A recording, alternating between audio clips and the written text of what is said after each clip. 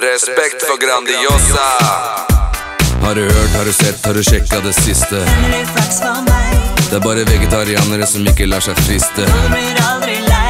Ingen over verken før eller lenge den siden. Det er ikke tvil om hva som ruler for tiden, nei. Vi snakker lørdagspizza. Vi snakker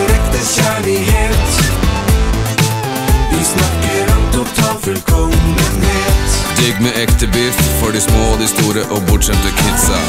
Åtte potter rømmedressing, Grandiosa lørdagspizza. Lørdagspizza.